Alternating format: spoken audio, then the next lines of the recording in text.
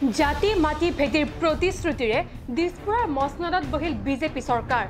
মুখ্যমন্ত্ৰীৰ পদত জাতীয় নায়ক সৰ্বানন্দ সোণোৱাল। তাৰ পূৰ্বে সৰ্বানন্দ সোণোৱাল আছিল কেন্দ্ৰীয় মন্ত্ৰী। সৰ্বানন্দ সোণোৱাল আছিল বিজেপিৰ সভাপতি। সৰ্বানন্দ সোণোৱাল আছিল অগপৰ নেতা সাংসদ আৰু বিধায়ক। আৰু তাৰ পূৰ্বে সৰ্বানন্দ সোণোৱাল আছিল সদৌ অসম ছাত্ৰ সন্থাৰ সন্মানীয় সভাপতি। সোণোৱালৰ এই ইতিহাস আজি মনত পেলোৱাৰ এটা বিশেষ কাৰণ আছে। অন্ধ্ৰপ্ৰদেশ বিধানসভাত কালি গৃহীত হ'ল Andhra Pradesh employment of local candidate in industries act দুহেজাৰ ঊনৈছ এই আইনৰ জৰিয়তে জগনমোহন ৰেড্ডীৰ চৰকাৰে অন্ধ্ৰত ব্যক্তিগত খণ্ডৰ সকলো উদ্যোগত স্থানীয় লোকৰ বাবে পঁয়সত্তৰ শতাংশ চাকৰি সংৰক্ষণ কৰে। ব্যক্তিগত খণ্ডৰ উদ্যোগত এইদৰে স্থানীয় মানুহৰ চাকৰি সংৰক্ষণ কৰা ভাৰতৰ প্ৰথমখন ৰাজ্য হোৱাৰ গৌৰৱ অৰ্জন কৰে মুখ্যমন্ত্ৰী জগনমোহন ৰেড্ডীৰ নেতৃত্বাধীন অন্ধ্ৰপ্ৰদেশে। আইনখনত এইটোও সংযোজন কৰা হৈছে যে যদিহে দক্ষ যুৱক চাকৰিৰ বাবে নাথাকে তেন্তে কোম্পানীসমূহে ৰাজ্যৰ স্থানীয় যুৱকক প্ৰয়োজনীয় প্ৰশিক্ষণ দি ল'ব লাগিব। অন্য দক্ষতাৰ অজুহাতত স্থানীয় যুৱকক চাকৰি নিদিয়াৰ যি সহজবাদ কোম্পানীসমূহে লয় সেই পথো আইনখনত বন্ধ কৰি দিয়া হৈছে। অন্ধ্ৰৰ স্থানীয় যুৱকৰ বাবে চাকৰিৰ সংৰক্ষণ জগনমোহন ৰেড্ডীৰ নিৰ্বাচনী প্ৰতিশ্ৰুতি আছিল। এতিয়া চাওক অসমৰ প্ৰসংগ।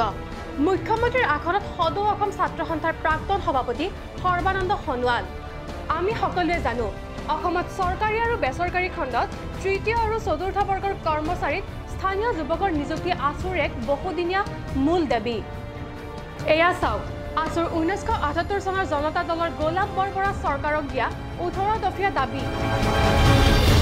সনদৰ প্ৰথমটো দাবী সকলো চৰকাৰী আৰু বেচৰকাৰী ঔদ্যোগিক অৰ্থনৈতিক আৰু অন্যান্য প্ৰতিষ্ঠানে আঠশ টকাতকৈ কম দৰমহাৰ সকলো চাকৰি আৰু আঠশ টকাতকৈ বেছি দৰমহাৰ অতি কমেও আশী শতাংশ চাকৰি থলুৱা মানুহৰ কাৰণে সংৰক্ষণ কৰিব লাগে।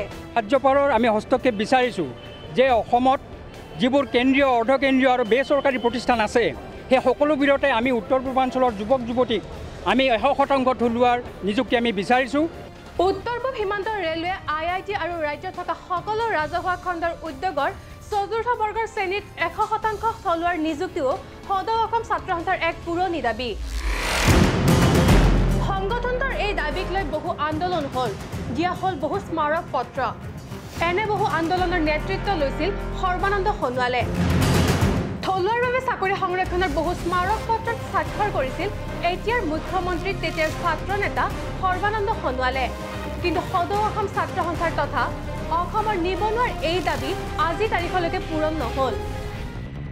তাৰ পৰিৱৰ্তে আমি দেখা পালোঁ কালি অন্ধ্ৰপ্ৰদেশত আইন পাছ কৰি সংৰক্ষণ কৰা হ'ল থলুৱা নিবনুৱাৰ নিযুক্তি।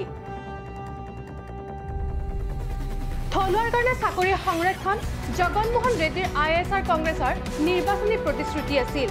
আৰু এই প্ৰতিশ্ৰুতি শাসনলৈ অহাৰ দুমাহ হোৱাৰ পূৰ্বেই পূৰণ কৰিলে জগনমোহন ৰেড্ডীয়ে। এয়া অসমৰ বিধানসভা নিৰ্বাচনৰ পূৰ্বে বিজেপিয়ে প্ৰকাশ কৰা ভিজন ডকুমেণ্ট।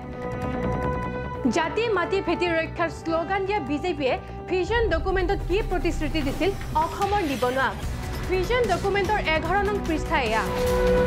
কোৱা হৈছিল শাসনলৈ আহিলে অনুপ্ৰৱেশকাৰীক সংস্থাপন দিয়া উদ্যোগ ব্যৱসায়িক এছ এম ই বা অন্য যিকোনো সংস্থাক কঠোৰভাৱে নিয়ন্ত্ৰণ কৰিবলৈ প্ৰণয়ন কৰা হ'ব আইন হৈ গ'ল বিজেপি নেতৃত্বাধীন সোণোৱাল চৰকাৰৰ তিনিটা বছৰ। কিন্তু এই সম্পৰ্কীয় কোনো বিধেয়কে উত্থাপন নহ'ল বিধানসভাত। অসমৰ বহু নিবনুৱাই চাকৰি কৰে অন্ধ্ৰপ্ৰদেশত। এই নতুন আইনে নিশ্চয় প্ৰভাৱ পেলাব অন্ধ্ৰত সংস্থাপন লাভ কৰা নিবনুৱা যুৱকৰ ওপৰত। গতিকে অসমত অনুৰূপ ধৰণে আইন প্ৰণয়ন কৰি অসমৰ যুৱকৰ কাৰণে চাকৰি সংৰক্ষণ কৰাটো হয়তো হৈ পৰিছে সময়ৰ দাবী। আশু কৰ্মীৰ পৰা সভাপতি অগপৰ বিধায়ক সাংসদৰ পৰা অসম প্ৰদেশ বিজেপিৰ সভাপতিলৈ বিজেপিৰ সভাপতিৰ পৰা অসমৰ মুখ্যমন্ত্ৰীলৈ বৰ্ণিল সামাজিক ৰাজনৈতিক পৰিক্ৰমা সৰ্বানন্দ সোণোৱালৰ। আই এম ডি টিৰ বিৰুদ্ধে আইনী যুঁজ কৰি লাভ কৰিলে জাতীয় নায়কৰ সন্মানো। হয়তো প্ৰায় সকলো সন্মানেই পূৰ হ'ল সৰ্বানন্দ সোণোৱালৰ।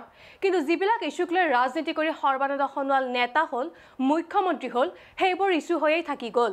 তাৰ ভিতৰতে অন্যতম গুৰুত্বপূৰ্ণ ইছ্যু হ'ল থলুৱাৰ কাৰণে চাকৰিৰ সংৰক্ষণ। জগনমোহন ৰেড্ডীৰ দৰে ইচ্ছা কৰিলে সৰ্বানন্দ সোণোৱালেও পূৰ কৰিব পাৰে অসমৰ নিবনুৱাৰ সপোন। কিন্তু সেই ইচ্ছা জাতীয় নায়ক সৰ্বানন্দ সোণোৱালে দেখুৱাবনে? বিশেষ খবৰ সবিশেষ ৰূপত পাবলৈ মই নন্দিতাৰ সৈতে চাই থাকিব দ্য ক্ৰছ কাৰেণ্ট টেক